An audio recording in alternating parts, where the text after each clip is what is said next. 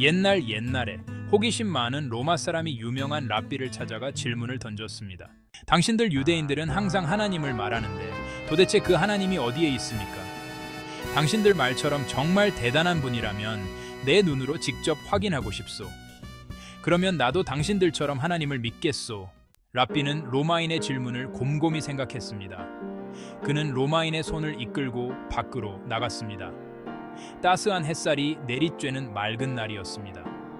랍비는 하늘을 가리키며 말했습니다. 저 찬란한 태양을 한번 똑바로 바라보시오. 로마인은 랍비의 말에 따라 태양을 보려고 애썼지만 눈이 부셔서 금세 고개를 돌리고 말았습니다. 그리고 소리쳤습니다. 말도 안 되는 소리 하지 마시오. 누가 감히 태양을 똑바로 볼 수 있단 말이오.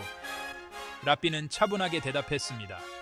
하나님께서 만드신 수많은 것 중 하나인 태양도 똑바로 볼 수 없는데 어떻게 당신은 전능하신 하나님을 직접 보길 바라는 것이오.